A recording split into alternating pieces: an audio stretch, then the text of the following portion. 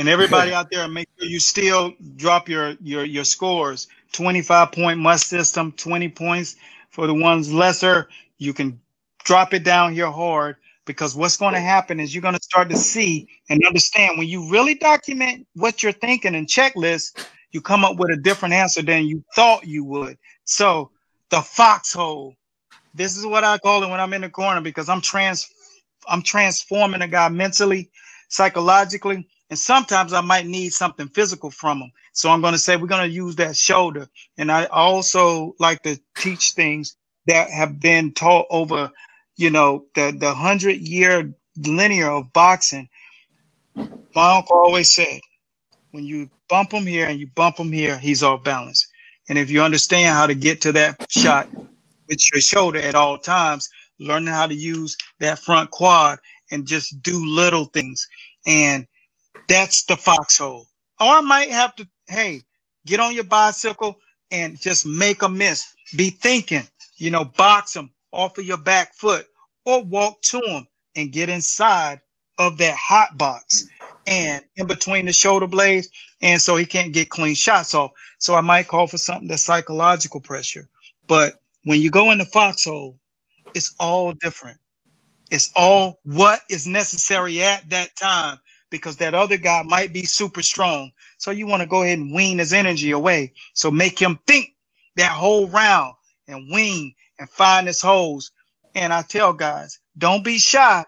Don't just make a miss to make a miss. Make them pay and let them taste that smoke at the same time. I'm not making you miss so I can just make you miss. I'm making you miss so I can make you pay. And that's where we at right now. The foxhole. Who has the better corner hmm. in the team? Yeah. Uh, I mean, I guess I'll go. Um, I, I think that this okay. is a, I, I, I think this is a tough question just because um, we haven't seen uh, many fights yeah. at a high level for Teofimo, yeah. right? Yeah. And and that doesn't mean he's not that he doesn't have it. It just means we haven't seen it at a high level uh, right now. Um, but I think this this will be a, a great test. I mean, I think um, a lot of fighters like Canelo, for instance, or you know, have had uh, tough fights. Even Floyd Mayweather when he fought uh, Castillo, you know, you have this fight. You may not look as good as you wanted to, but it propels you. So I think no matter what happens, I think that this fight will be will transform Teofimo's game for forever. But uh, back to the question, I think that Lomas has been tested. He's you know walked guys down. He's boxed them. He's you know fought inside. Obviously with Salido, you know he has so many different you know tools and has been an experience, uh, has the experience yeah. from these fights. So yeah, you know it, it's kind of hard. You you almost by instinct you have to give it to him because it's like he's kind of been through this at a high level already, and we've seen it at a high level. But that doesn't mean that the other guy doesn't have it, and doesn't mean it isn't as good. It just means we haven't seen it yet. So, with that being said, uh, I'm going to edge it out uh, Lopez. Uh, I mean, sorry, uh, Loma for uh, 15 10. Okay. Otis? Yeah. Well, you're, you're spot on. I, I think that you can't, again, you can't discount everything that Loma's been through from uh, the Olympics to all of his championship rounds. Uh, yeah. Consistency. Consistency equals great greatness. I think a lot of people mm-hmm. don't understand that.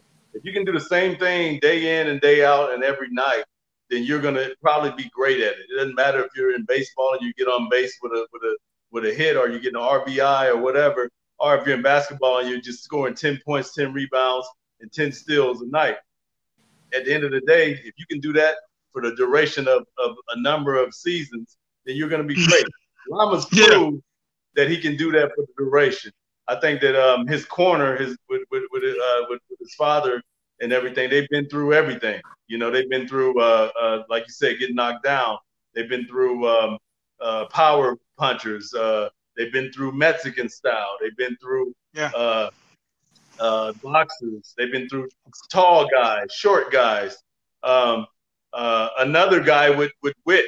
uh, uh, they, that he had to outmatch, uh, being with, uh, with uh, Rigo. Um, so I'm going to give the corner uh, to Loma, and I'm going to give it to him big because uh, I believe it's uh, 20 to 25 his his corner because they've been through everything. They've been proven. You know, it's like uh, geometry. They're a, a, proven theory. Yeah. Yeah. So I think of it like this, and then we're going to move to the next section. Is you think of what you've seen of Loma's father, the entire life training, the different ad, uh, uh, uh, alleyways that he's taken them through dance, and they made him take that so he can understand how to use his feet in the ring. Because if he was a natural, he wouldn't have needed him to do that. Lynn Swann, great receivers, people who've done that. Holyfield, they use these ta- these tactics, using these things that really increase his neurological responses in these what we call those, those Nike SPARQ testing, where he's always testing his neurological responses.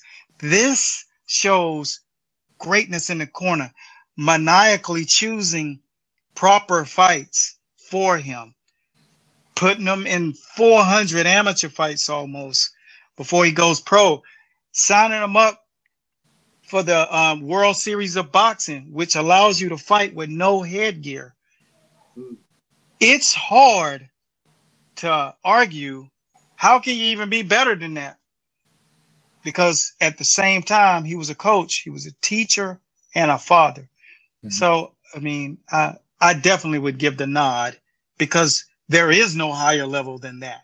The only thing left for him to do is to retire and rake in all of the accolades as his son being one of the greatest to ever do it, talent wise, not numerically, because he's already had near 400 fights as an amateur, but what he gave the sport, the visual of what it looks like to be a purist inside of the ring. So, for that reason, I'd give the nod to the Loma family, period, with a team that's second to none. And if you look at who's in their corner, pay attention next Saturday night to see who's in the corner because I think some people are overlooking who's actually in that corner.